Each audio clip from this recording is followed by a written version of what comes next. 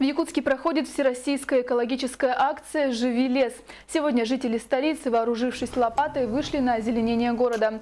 Сотрудники Департамента по лесным отношениям совместно со студентами ЕГСХ высадили 90 саженцев березы на территории парка культуры и отдыха. А также совместными усилиями была создана аллея Чичир в местности Усхатын.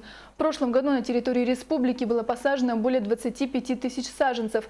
Отметим, что жители столицы могут поддержать масштабную акцию и поучаствовать не только в озеленении, но и в уборке территорий. Ухаживать будет, конечно, городской парк. У нас с ними соглашение. Э, И, ну, обычно, как обычно, приживаемость э, достаточно э, высокая. У нас здесь э, на территории парка есть э, сквер лесника, который мы то также облагораживаем. В этом году посадили там кустарники, также облагородили, еще и э, деревья тоже посадили. То есть э, работа это постоянно ведет.